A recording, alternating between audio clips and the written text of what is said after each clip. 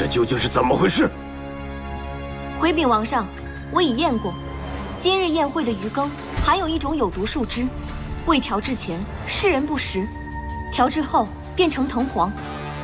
清亮藤黄可入药，药量加大，引起腹痛、呕吐，再重致死。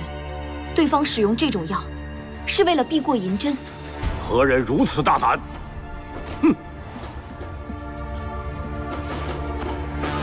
王上。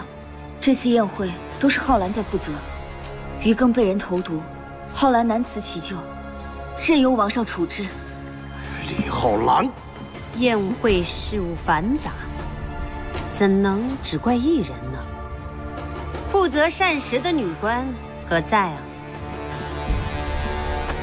王上、王后，这白鱼是贡品，由地方上供一名庖厨，一定是他所为。把那庖厨带上来。王上。王上，启禀王上，那庖厨不见了，许是因为今日宴会出入频繁，所以乔装逃跑了。一个大活人就跑了？有朝一日寡人脑袋落地，你们也不知道是何人所为，对吗？无用的东西，退下。诺。王上，谁是凶手？不是已经很清楚了吗？嗯，凶手是谁呀？寡人不知。如果王上和雨儿死了，谁是最大的获益者，谁就是凶手。父王，这是诬陷，我怎么可能做大逆不道的事情呢？少妃，你无凭无据，可不要血口喷人啊！这鱼羹，我也用了。我检查过每一位客人的羹汤，唯独公子的那一份无毒。皇上。您都亲耳听到了吧？这就是您的好儿子，他无非是想借此宴会毒杀自己的父亲和弟弟。我未曾负责宫宴，更不曾沾染厨下，我怎么下毒？就算我要下毒，也不可能做的这么拙劣，引火上身。为什么不说是雨帝做的苦肉计呢？故意要来陷害兄长，还有那清心丸。未免背的也太及时了吧！你胡乱猜疑，殷医师下毒啊！殷医师要想毒死谁，那不是手到擒来？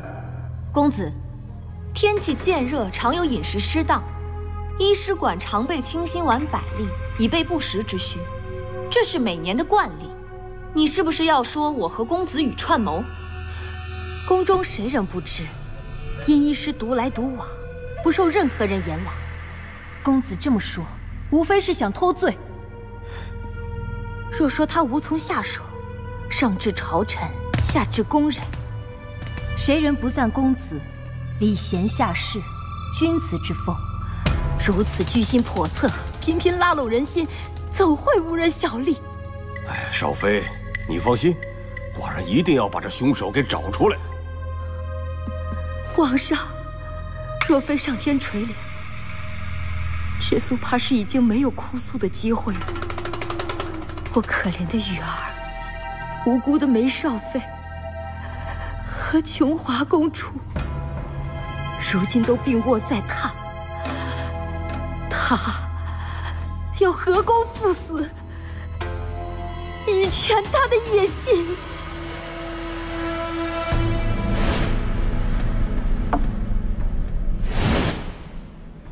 父王。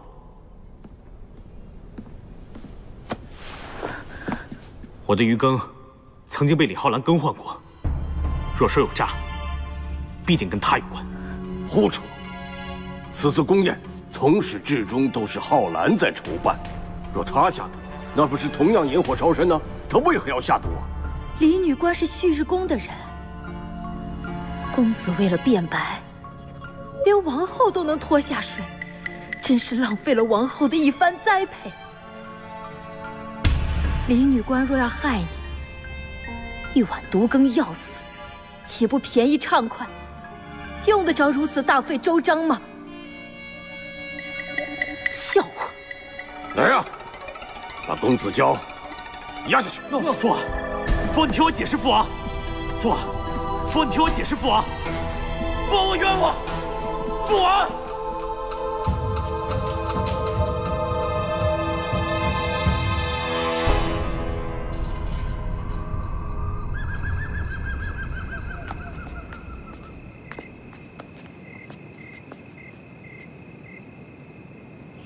公主，今日宴上，你做了什么？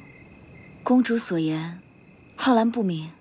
你接受兄长的示好，让他燃起希望，唯一的目的便是引他上钩。公主偶感风寒，卧床养病，未参加今日的宴会。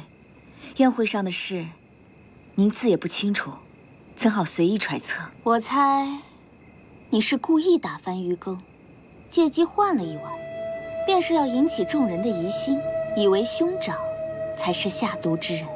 公主，谁来做未来的赵王，与我这个小小的女官根本毫无干系。我怎会冒如此大险，偏帮公子羽？是与不是？你心里清楚。夜里风大，公主小心风寒更重，请您早些回去休息，少赔了。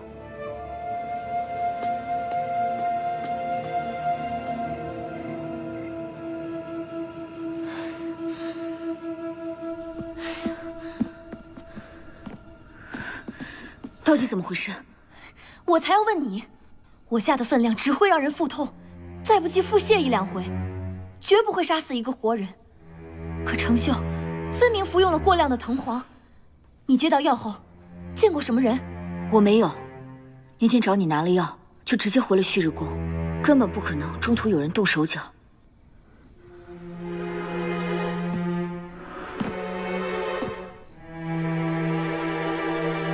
除非，浩然，是谁从中动了手脚？你一定知道的，对不对？我今天都有人死了，你还不说实话？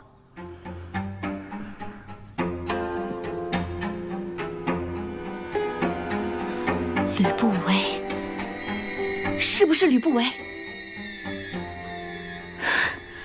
浩然，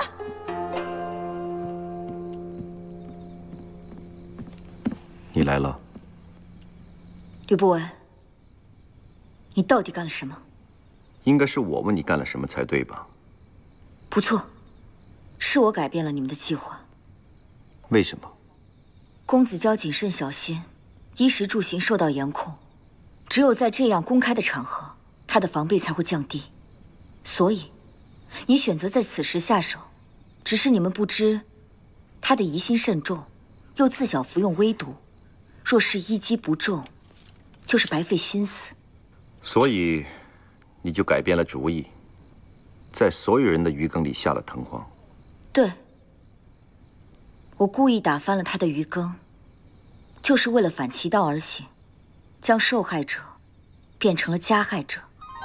这可是明目张胆的构陷，万一赵王不信呢？自古以来，为了王位，别说镇杀，提起刀剑。公然砍下父兄头颅的不知凡几，当初的惠文王，不也为了王位之争，任由自己的生身父亲在沙丘之乱被幽禁饿死吗？听起来又蠢又毒，但是王位的诱惑太大，一切皆有可能发生。经历了王位角逐的赵王，又凭什么不信？可是我们下的藤黄剂量极小，根本不可能杀死人。吕不韦，你告诉我。你到底干了什么？我只是顺水推舟，让司徒月加了分量罢了。吕不韦，你杀了人啊！程修他根本就不是你的妨碍。那程家女子杀了婢女，刻薄狠毒，轰动整个邯郸城。我就是要选中她，作为第一个替死鬼。这根本不是你杀人的理由，吕不韦。你为了达到目的，真的是什么事都做得出来。若非你我产生嫌隙，公子娇又如何乘虚而入？若非你痛恨公子娇，又怎会设下计策，将他诱入你的埋伏？若非你设下藤黄之计，我又如何再补上一刀？所有的机会，都是你一步步送到我手，怪得谁来？浩然，世上没有不流血的纷争，牺牲是在所难免的。有了这条人命，方知公子娇的可恨。就算没有实在证据，王上也绝饶不了他。纵然你怨我、怪我、恨我，如果重新来过，我依然会这么做。我曾受你的恩惠，才会供你驱使，但我有自己的底线。为了权势地位、名利富贵，你可以不择手段、拼了命的往上爬，我不会怪你。任何人都有权利改变人生，可你不应该滥杀无辜。是，也许你杀的人并不无辜，但你杀人的理由也绝非正义。吕不韦，这是最后一次。我请求你以后不要再滥伤人命，否则，你和我分道扬镳，各走各路。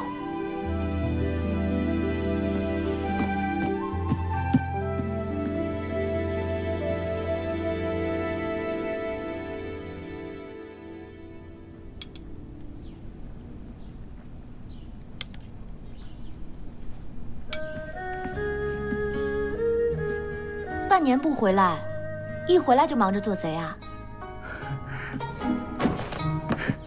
小春，你怎么回来了？不是去出诊了吗？你刚才在干什么？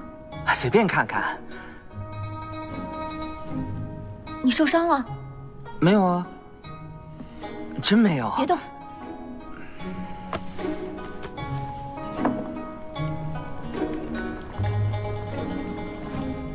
我给你写了十几封信，你一封都不回，也太狠心了吧！当初刘叔出走的人是谁？那时候你跟我告别了吗？啊，你轻点儿！我不是怕你不开心吗？所以就先斩后奏。哎，你看我这半年有没有什么变化？什么变化？是不是变得更风流倜傥、潇洒英俊了？嗯？哎呦！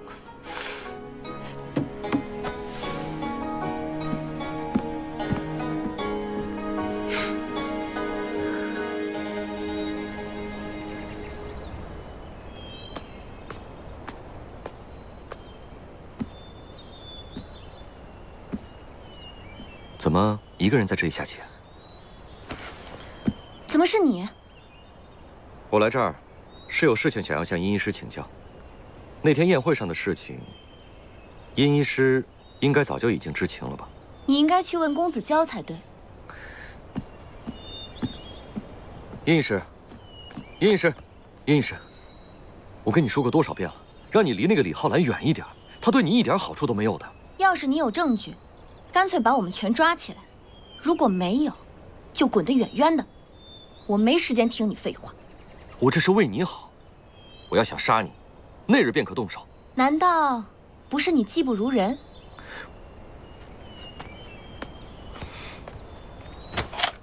殷小春。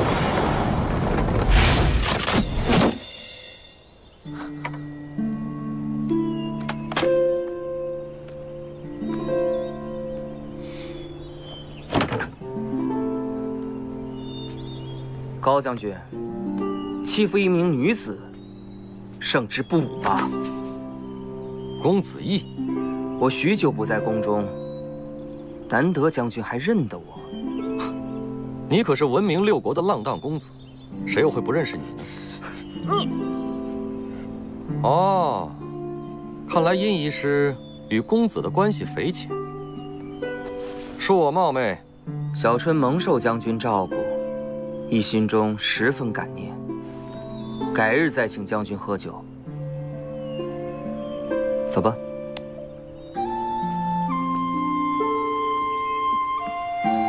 想好了吗？早想好了。来，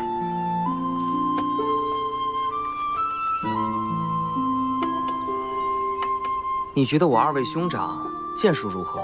技艺惊人。他们只不过是耍耍花枪罢了。你刚才瞧不起的那个高浩洋，才是真正的剑术高手。下次遇到他，一定要躲着走。不能再吃了，再吃我要输了。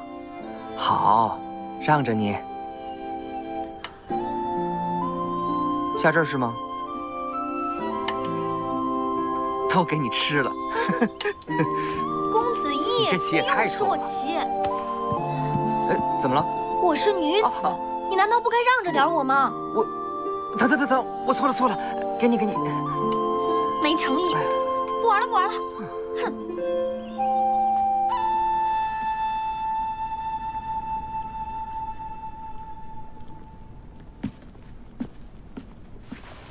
雅儿见过母亲。怎么了？兄长被父王关押，您为何如此镇定啊？雅儿知道宫中美人众多，为何独我为后吗？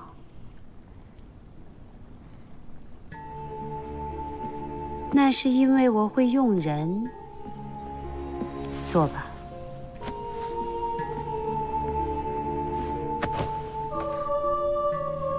女儿有些不明白。我没有儿子，所以只能从你父王众多公子中找一位继承人。但是这个人必须对我忠诚。如何才能让他忠诚？给他权力，让他谋利。这样的话，母亲又能得到什么呢？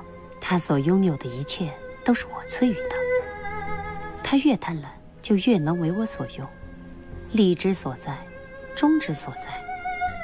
若他别无所求，我必危矣。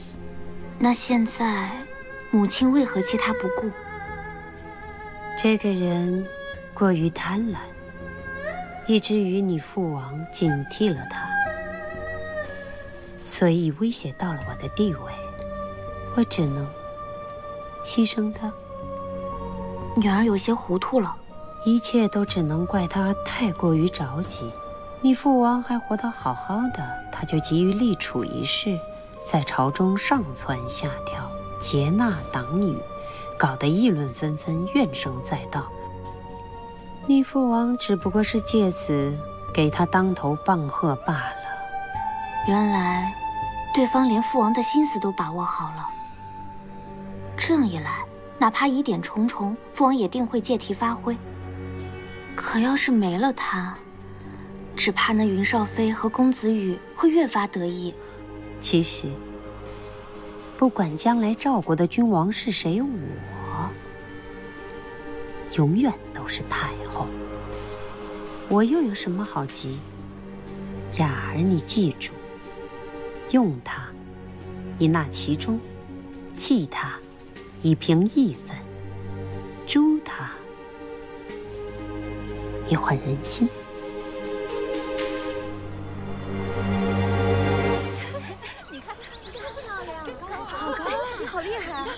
少妃，您看，风筝飞得好高啊！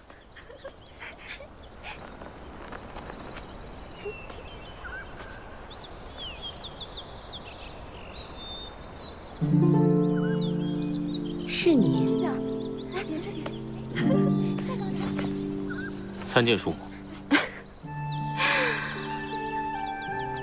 再拉一下，小心点。不知道雨说错了什么。那么老吗？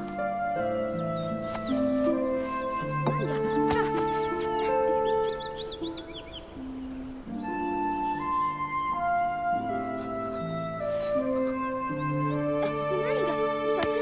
哎，这边，少妃。哎，哎呀，风筝，少飞线断了，你们两个还不快去捡？少飞饶命！这样的小事都做不好，要你何用？少妃饶命！少妃饶命！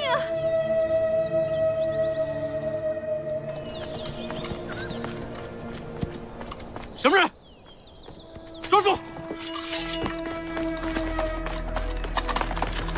我，我只不过是捡了个风筝而已。捡风筝？捡风筝为何如此慌张？带回去审问。诺。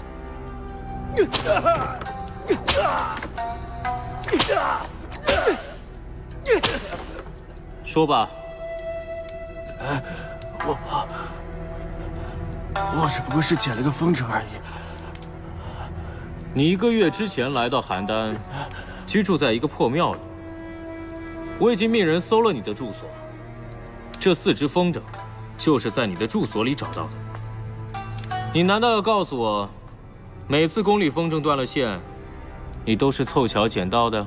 宫中的风筝做工精致，我只不过是想偷偷取回换些银钱。你千里迢迢来到邯郸，就是为了捡风筝吗？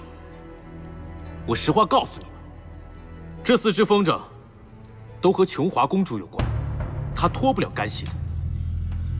而你的生死就在一念之间。你在说什么？我听不懂。哎，继续打。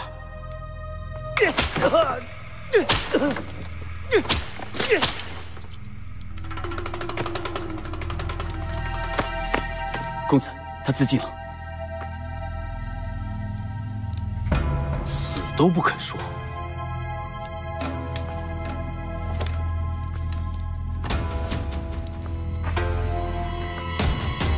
一定有不可告人的秘密。韩少飞，今日我在宫外捉住了一个等风筝的人。啊？不只是人，还有四只漂亮的风筝。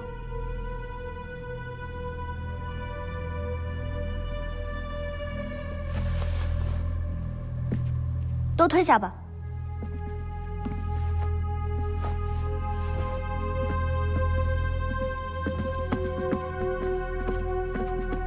公子要为我断了风筝而问罪？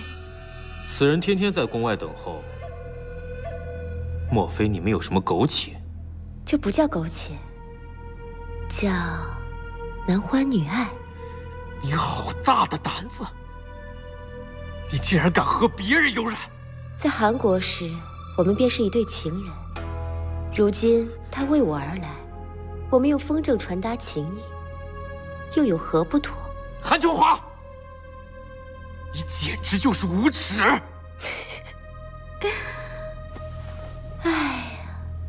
男女情爱，天经地义。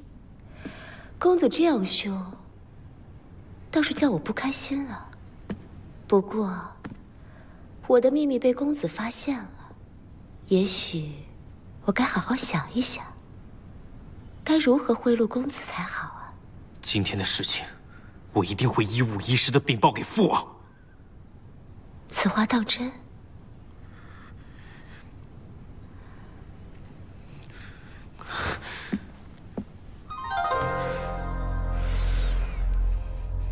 何必拒人于千里之外？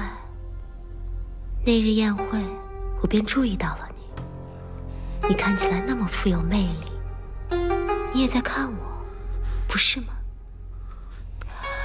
你瞧，古板的公子，这就是男欢女爱呀！你放肆！你这个荒淫无耻的荡妇！公子啊，公子，你瞧瞧你现在的模样，真像是被调戏的少女呢。今日的事情，我一定会告诉王上。若你一早有证据，何必这么辛苦来套我的话呀？你早就知道，那你还……这里的日子太无聊，逗逗你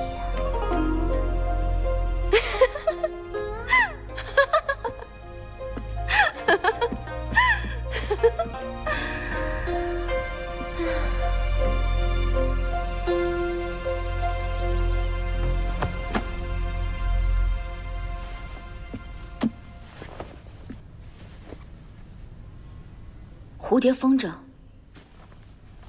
只是普通的风筝。这是琼华用来传情达意的风筝，它当然不是普通的风筝。传情达意，对。只可惜他的情人自尽了，否则我便可以告知父王，将他定罪。这么说，公子已经质问过他了。可惜，我什么都没问出来，反倒被他将了一军。这琼华公主不但是韩国第一美人，而且聪慧过人，公子与她交手，自然占不到便宜。什么韩国公主啊？她哪有一点公主的样子？在我看来，她只不过是那……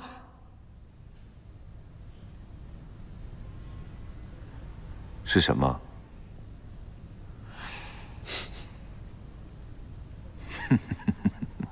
你还笑得出来？浩然，你怎么不说话呀？这风筝有什么特别吗？浩然，等等，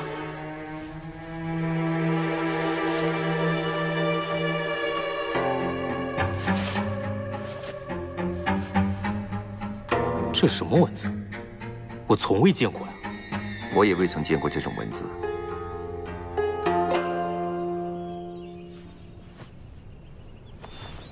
在思念寡人。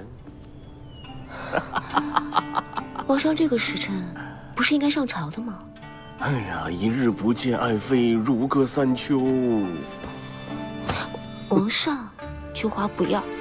我警告你啊，你不能因为寡人对你的宠爱，你就肆意妄为。嗯。瞧皇上今天的好神色，是不是有什么好事？当当然好事啊，好事。前线小生，秦人停止进攻，按兵不动。他们跟你一样，呃，怕了寡人了。我最讨厌你们这些男人，成日里就知道你攻我发，无休无止。若天下没有男人，也就太平了。哎，此言谬矣。秦人攻赵实乃不义，寡人才是正道。打仗便是打仗，分什么正义邪恶？争夺就是争夺，何必借口黎民百姓？依我看啊，都不是什么好玩意儿。哎呀，你我谈什么打仗啊？哎呀，嗯，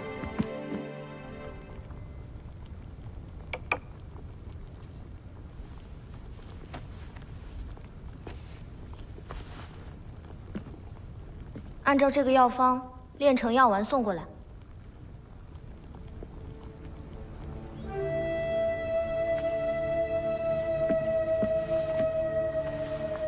少妃，这种药我配不了。不过是一些豆蔻、丁香，堂堂赵国王宫，难道连这些都没有吗？少妃，您忘记说了一味药了吧？哦，麝香。有何不妥？敢问一句，你要做的是不是冰麝丸？果然名医啊！方子一看便知，长期服用冰麝丸的确有青春永葆之效，但药丸里的麝香毒会让人不孕。少妃怎么能服用？你不是很恨我吗？我用什么药，与你何干？少妃，殷小春是医师，医师只管治病，不分对象。可笑！少妃用什么药，用得着你来教吗？再得罪少妃！可不是关罪人所这么简单了。为保宠爱，服用药丸，无以饮鸩止渴。我劝你一句，把王上当傻子戏弄，绝不会有好下场。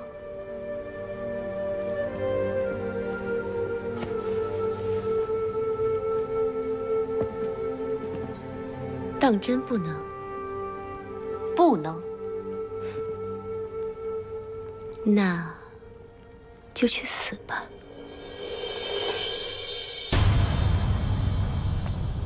哎，一弟，你回来了，兄长。哎，怎么满头是汗？有什么急事吗？我有急事求见父王。一弟，一弟。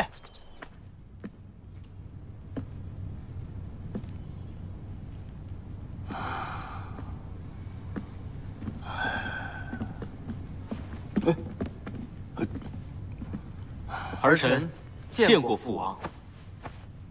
都来了，难得，来一起用膳。父王，儿臣有急事禀报。你能有什么急事？先用膳。父王，义弟，有什么急事儿，待会儿再说。爱妃，哎呀，哎呀，爱妃啊，让你陪寡人用膳，还要三催四请的，好大的脾气呀！来，既然王上不愿意见我，那我就回去好了。哎，不不不不不，哎呀，哎呀，寡人只是一句玩笑，你真生气呀？哼，小矫情！哎呀，足足等了你半个时辰，啊，来来来，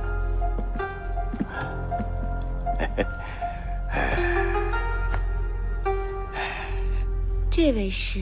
啊，义儿，终日在外游荡，刚刚回宫。义儿，见过少妃。哎，来来，公子义果然风度翩然，有三分王上的风采。是个不成器的孩子。呃呃，就就这么站着？呃，刚才说找寡人有事。父王，父王，儿臣按照您的意思，已经把所有的事情都办妥了，补充物资，马上就可以运到前线了。怎么又谈兵家之事，破坏我用膳的胃口？这这谁让你谈战事啊？用膳之时就应该呃谈一些风花雪月之事，呃，增情添趣。嗯，风花雪月也不过是无病呻吟，我可没兴趣。那嗯，那就，哎，干脆食不言，寝寝不语啊！啊，寡人闭嘴，行了吧？哎呀，你们也不要说了啊！回头再说，去去去去去去。敢问少妃，殷医师入你灵泽宫，为何迟迟不见回转？殷小春，他来过吗？回禀少妃，玉珠不曾见过殷医师。药童明明说，韩少妃请走了小春，难道宫里有第二个韩琼华吗？你怎么跟寡人的爱妃说话呢？一点规矩都没有。父王，儿臣只是想知道小春的下落，并无意冒犯少妃。儿臣猜测，韩少妃私下扣了人，而故作不知啊。寡人不想知道什么小春的下落。呃，退退退退！父王，父王，义弟只是一时心急，才会口不择言，请父王宽恕。还不快跪下！小春是治病救人的医师，他什么都不懂。如果得罪了少妃，那么，请你看在他曾救你一命的份上，饶了他吧。哎呀，你到底想不想让寡人用好这顿膳呢？父王，退下！滚滚滚滚滚滚！义弟，你大闹丹阳宫，难道真想害死医师吗？走，父王，儿臣告退了。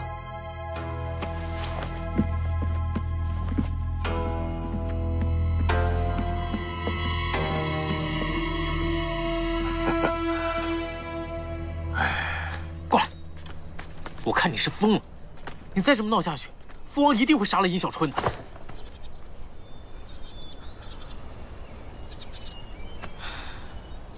叶，你素来是我们几个当中最豁达的人，怎么这次完全失了常态呢？我什么都没有，小春她就是我的一切。你身为一个堂堂的赵国公子，什么叫什么都没有？叶，你的脑袋还清醒吗？你怎么可能为了一个女人，说出如此荒唐的话来？兄长，自幼备受父母宠爱，是最尊贵的公子，而我不同。母亲死后，这偌大的赵王宫，再也无人问我是饥是寒。小春她只比我大一岁，却处处呵护着我。我们两个人就像田间的野鼠一般，相互依傍着长大。小春她像我的母亲。像我的姐姐，她更是我的爱人。如果没有小春，我早已不在这个世上了。如果你是我，你会不会心急如焚？会不会发疯发狂？好了，你也别着急了，兄长替你再想想办法，好吗？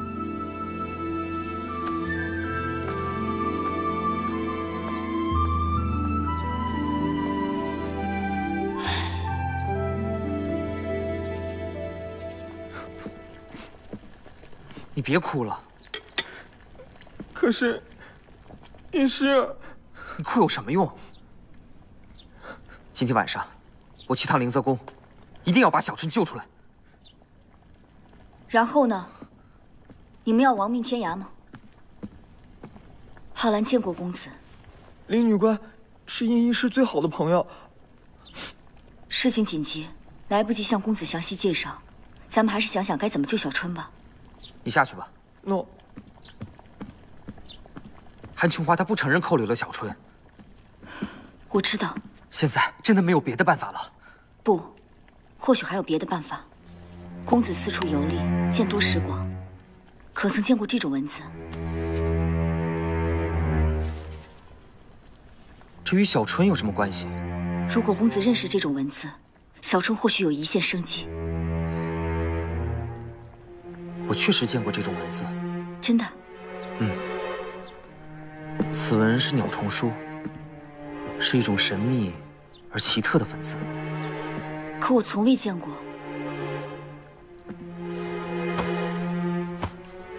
我曾在一柄百年前留下来的宝剑上见过，此文一名鸟篆，因外观过于华丽而流行一时，但渐渐又开始消失，诗人多有不识。公子，能将这些都翻译一遍吗？这些文字我也并非特别熟悉，只能试试看。是情诗吗？不像。这第一块布上是一首诗，而剩下的几块布又与第一块布有什么联系？不过要解开这些联系，恐怕需要一些时间。需要多久？我不知道。韩少飞扣留了小春，他现在一定身处险境，我们要抓紧时间。可是我没有把握。公子，小春在等你，你一定要冷静下来。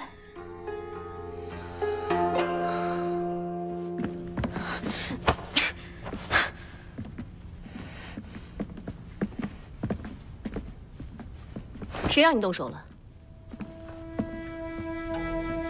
少妃，这丫头违背了您的命令，绿珠只是想听您教训她。太让我失望。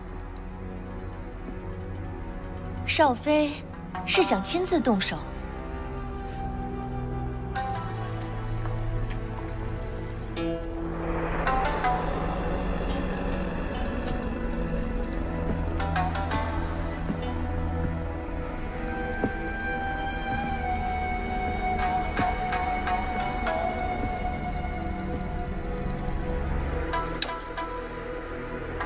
不对不对不对最后为什么是数字啊？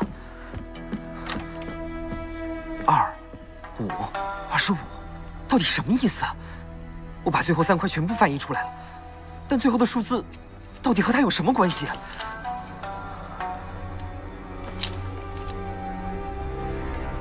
完了完了完了，没时间了。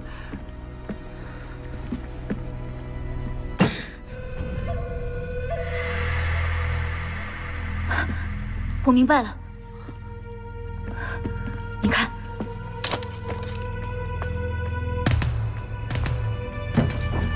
这是怎么样了，兄长？见过公子，无需多礼。秘密解开了吗？刚才解开秘密，让我看一下。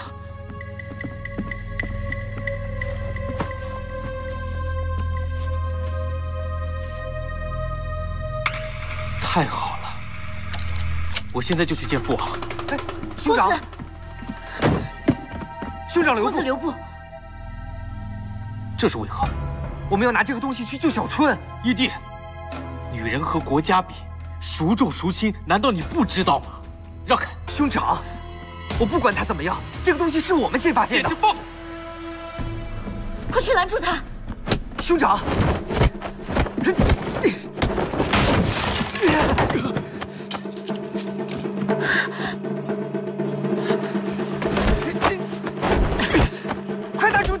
去救小春！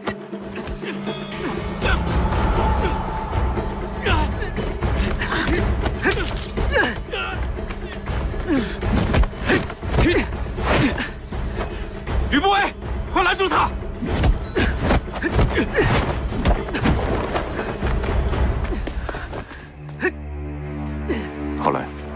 必说了，小春是我的好朋友，我不能见死不救。和琼花谈判危险之际，你你不能去。当我者死。你对我拔刀相向。是。你应该知道，若是我不想让你去，你便去不了。证据只是死物，你要为了他失去一个重要的棋子吗？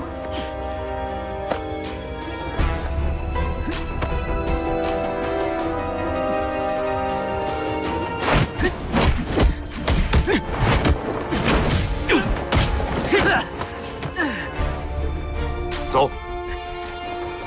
吕不韦，你疯了！不能让他走！公子留步，吕不韦。失望了。公子，你已经知道了布帛上的秘密，又何必穷追猛打呢？